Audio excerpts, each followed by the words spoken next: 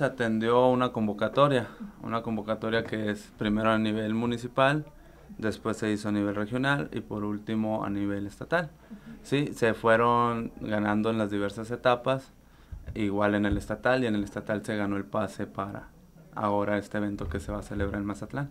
¿Qué día se celebrará? Se celebrará del día del 15 al 18 de, de octubre. En estos concursos son muchos aspectos a, que se califican, ¿sí? desde la participación de los alumnos, del tiempo, la forma, la actitud del maestro, la actitud de, de los alumnos.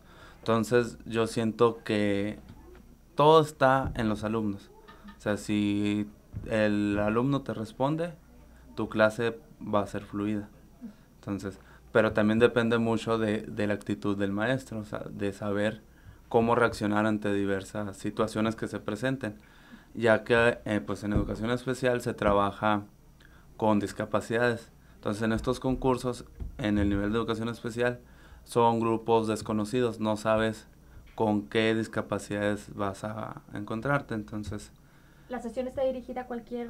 La sesión está dirigida a cualquier tipo de discapacidad y los materiales a utilizar también a cualquier tipo de discapacidad. Busco que les quede un aprendizaje, o sea, que tengan un aprendizaje significativo, que no, no nomás lo vean con entre, entre, entretenimiento, ¿sí? que lo vean como algo, como una enseñanza. A nivel nacional, sí es la primera vez. Había participado a nivel regional, pero había participado en el en preescolar.